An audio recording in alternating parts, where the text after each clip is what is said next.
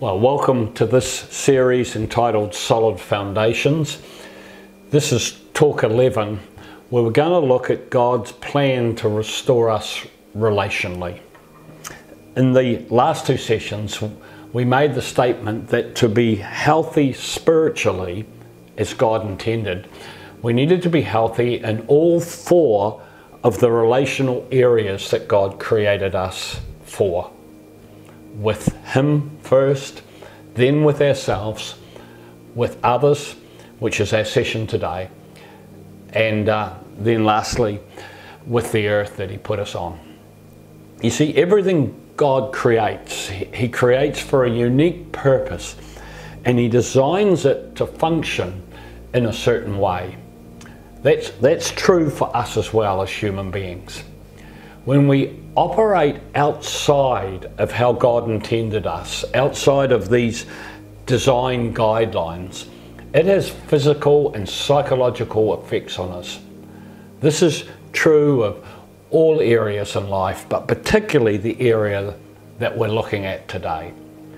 God created us to function in a certain way relationally we are created with this deep need to belong and to be part of something bigger than just ourselves. You see, life is meant to be and it's created to be shared with others. God never intended us to go through life alone. His intention has always been for us to experience life in close relationship with Him and in healthy relationship with other people. Jesus summarized all of the commandments in the Bible into two when he said, Love God and love others as you love yourself. You see, none of us can fulfill God's purpose for our life by ourselves. Life is actually all about relationships. The rest is just the details. If you don't believe me, ask someone on death's door about what's the most important thing to them.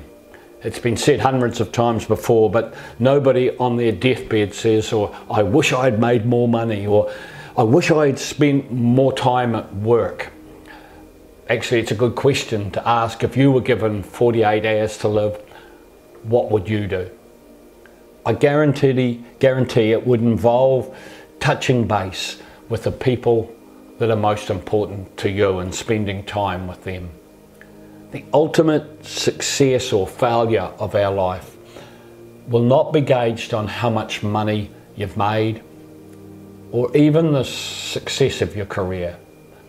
You see, the ultimate lasting legacy that you will leave will be in the relationships that you have invested in others around you. Why? Because as I said at the start, God created us for a relationship. It's, it's wired into our DNA. It's, it's, it's actually part of God's DNA as well. God is part of an intimate relationship team that we call the Trinity. God, God is a God of relationship and intimacy. The Bible is a book about God's relationship with human beings. And right throughout the whole book of the Bible, the theme that runs through it is God's relationship with us. Jesus came to earth because God wanted to restore the broken relationship with his creation. If you look at the life of Jesus, it revolved around relationships as well. His, his core relationship was with his Father God. He spent time with him alone. But then he had three close friends, then a small group of 12, and a larger group that knew him really well. And would travel with him all around Israel. Then crowds of people that followed him. He, he not only modeled a life in relationship, but he said to his followers that the world would know they were his by their relationship with each other. John 3 and verse 35 Your love for one another will prove to the world that you are my disciples. You see, our witness to the world is gauged by our relationship towards each other, towards other people. When Jesus instigated the church, the word he used is the Greek word ecclesia, It's actually not a religious term. Jesus, as he often did, he used a word that was common in his day. In this case, the word simply referred to a gathering or an assembly of people, a group of people who were called together for a specific purpose. That's what ecclesia means. The most common use of the word ecclesia in Jesus' time referred to people who were part of society but were called out by the Roman government and placed in what they called the Senate, who were given the responsibility to govern and oversee all of Roman society. Ecclesia never referred to a place or a building. Actually, it never referred to an individual, but it always referred to a group of people who were called out for a specific purpose. So, whether we like it or not, Jesus called us to be part of a group of people who took responsibility for looking after those around him. See, while our decision to follow Jesus is personal and individual, God never intended that our life could be lived in isolation from other people or other believers or followers of Jesus. He, he puts us in a group of people, a, a gathering of diverse people, and tasks these groups, these gatherings, these assemblies with the purpose of loving and serving Him, the King, and representing His kingdom on earth, wherever they went, whatever they did. That's what He told us to do. God wants us to be connected to other people as His representatives. But the problem is for the last 60 years or so, there's been such a strong emphasis in our society on personal individuality, self improvement, self image, self fulfillment, all focused on me as the individual. We've largely now become a society of loosely connected individuals. Scott Peck, psychologist and author, in his book The Different Drum, says individualism is the enemy of community. I agree with him, it's true. Added to that, the social media and other technology, technology that we have in our world today seems to make us more connected with each other, yet fewer of us have genuine friends than we had before. As a result, we've become disconnected from other people and lost our sense of belonging to a community. As I said at the start, God never intended and made us this way. Right from the very beginning, God said in Genesis 2 and 18, it's not good for man to be alone. We are made for a relationship with each other. We are created to be connected with other people. Psychologists call this a universal need to belong, and it's true for each one of us. So, why is this sense of belonging so important? Well, when we aren't connected in meaningful relationships the way God intended, we suffer natural consequences whether we realize it or not. Here's the first that we suffer a loss of perspective. When we live in isolation from others, we can easily lose perspective on life without realizing it. I've seen this in so many people.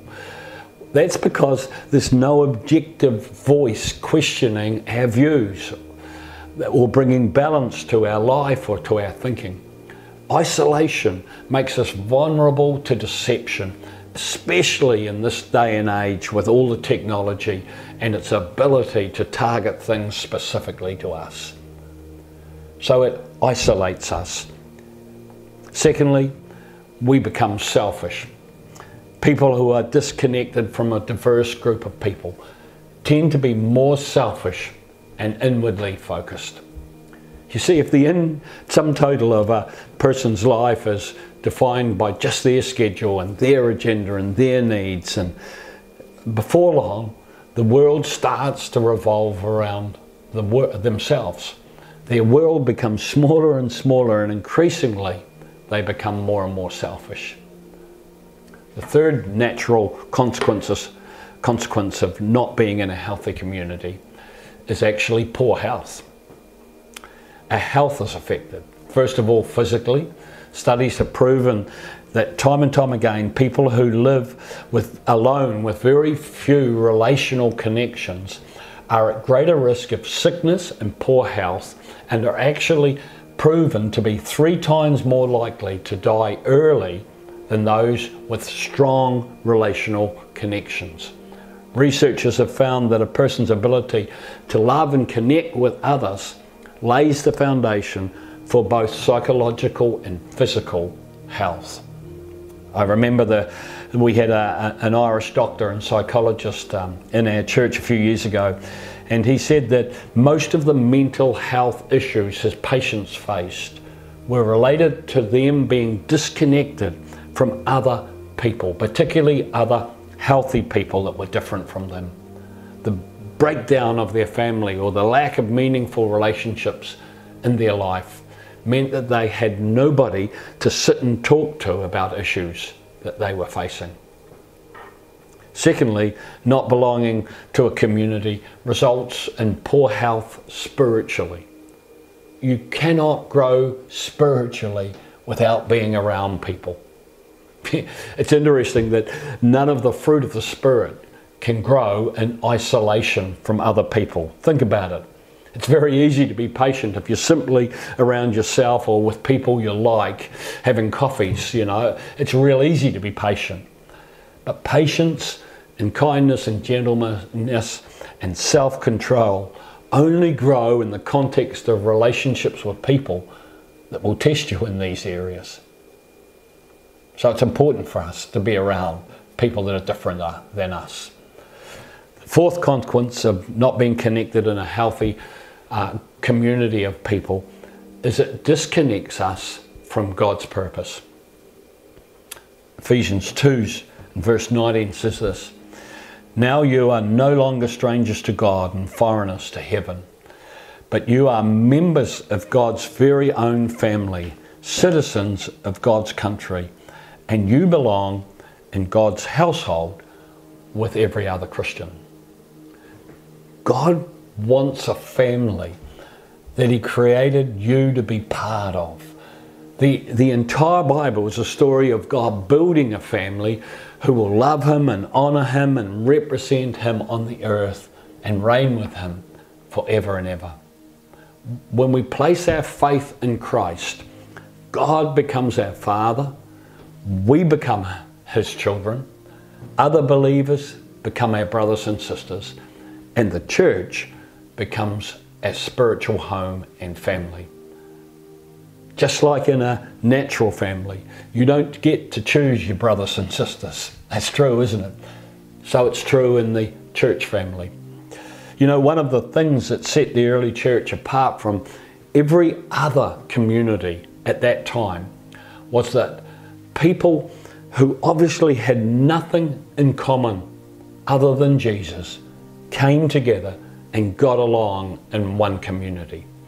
People who were total opposites, slaves with their masters, conquering Romans with the nations they conquered.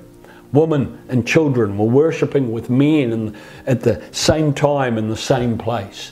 It was unheard of in its day. You, you see, our faith is meant to be lived out in the context of a larger, diverse, multicultural, mixed Christian community. Christianity cannot be reduced to just an individual experience. It involves taking up our rightful place in a community of believers who are committed to being part of God's biggest story on earth. This is how God designed us to function. It's the reason Jesus came to earth to restore our relationship with God, ourselves, and each other. And the next and the last session in this series, series, we will look at our relationship and our role with the earth we live on. I look forward to seeing you in the next session. God bless.